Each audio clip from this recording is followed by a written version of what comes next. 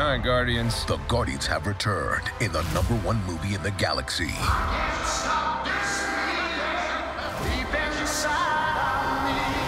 I got emotionalistical issues. What am I gonna do?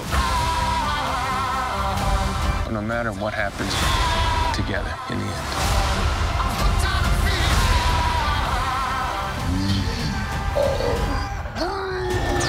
Guardians of the Galaxy Volume 3 in cinemas everywhere now.